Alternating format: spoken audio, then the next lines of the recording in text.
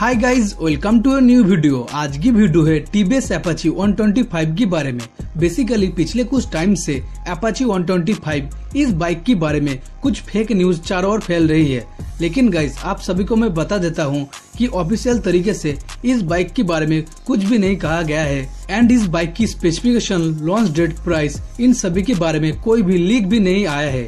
तो गाइस अगर आपको मेरी बात पर विश्वास नहीं है तो आप इंटरनेट में सर्च कर सकते हो। वहाँ पर आपको कोई भी डिटेल्स नहीं मिलेगा। डिटेल्स तो छोड़ो, इस बाइक के बारे में कोई लीक्स रूमर अभी भी नहीं आया है। और इस बाइक के बारे में इतना ज़्यादा फेक न्यूज़ फैलने की मेन जो रीजन है, वो है दूसरे बाइक ब्रांड क्योंकि गाइज़ अगर आप नोटिस करें तो K T Duke one twenty five launch हुआ है। ड्यूक 200 जैसे डिज़ाइन एंड लुक के साथ। लेकिन इसमें आपको कम सीसी और कम पावर मिलेगा, कम प्राइस में। दूसरी तरफ़ बाजाज पल्सर 125 लॉन्च हुआ है।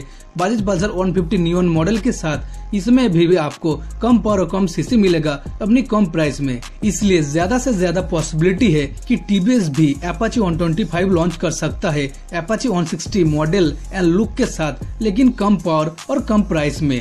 लेकिन एपाची 125 इस बाइक के बारे में कोई भी गारंटी नहीं है कि लॉन्च होगा और नहीं। अगर टीवीएस चाहे तो इस बाइक को लॉन्च कर सकता है और नहीं भी।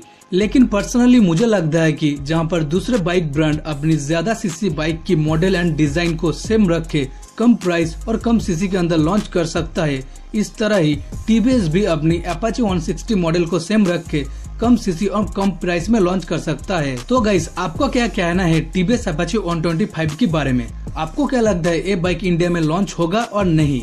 अगर आप इस बाइक के लिए एक्साइटेड है तो कॉमेंट बॉक्स में ज़रूर बताइए। तो गाइस आज की वीडियो में बस इतना ही। अगर आपको वीडियो अच्छी लगी तो लाइक शेयर कमेंट ज़रूर कीजिए। उसके साथ चैनल को सब्सक्राइब भी कीजिए। तो गाइस थैंक्स फॉर वॉचिंग